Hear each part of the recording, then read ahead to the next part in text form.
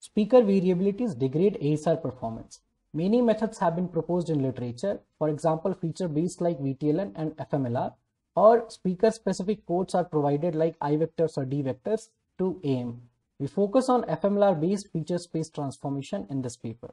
Usually, fMLLR requires 10 to 30 seconds of audio per speaker for parameter estimation. It also requires two-pass decoding. In real applications, available audio per speaker is much less and difficult to do two-pass decoding.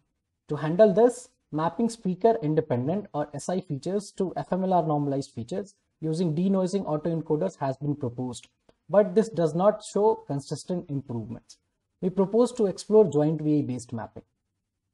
We cannot map features from one domain to another domain using conventional VAE because input of encoder and output of decoder must be same as can be deduced from its ELBO equation. This is handled in joint VAE by learning a joint distribution of SI features and fMLLR normalized features for a common latent space.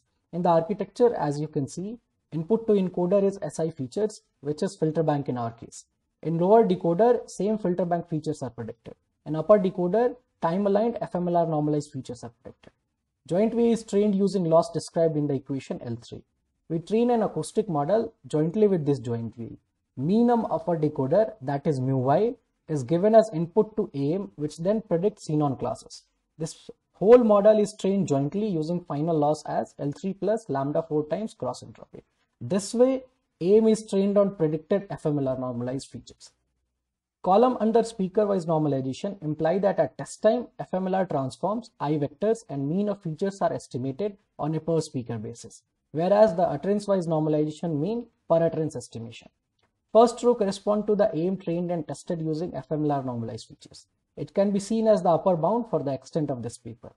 From second and third row, we can see that filter bank features with and without I vectors perform significantly worse than fMLLR ASR. From fourth row, we see that DA provides a slight improvement over filter bank ASR, but still worse than fMLLR ASR. From last row, we can see that our proposed joint VAE based mapping performs significantly better than other baselines at the same time, the drop from the upper bound fMLLR ASR is comparatively small. One big advantage is that decoding using our proposed method is done in a single pass, in contrast to two-pass decoding in the case of fMLLR ASR. Also, our method generalizes well for unseen speakers, as can be seen from the results table. So we don't need to collect separate enrollment data from test users. The utterance-wise normalization scenario resembles closely with real-time applications of ASR in which we usually don't have speaker category or very little data is available per speaker.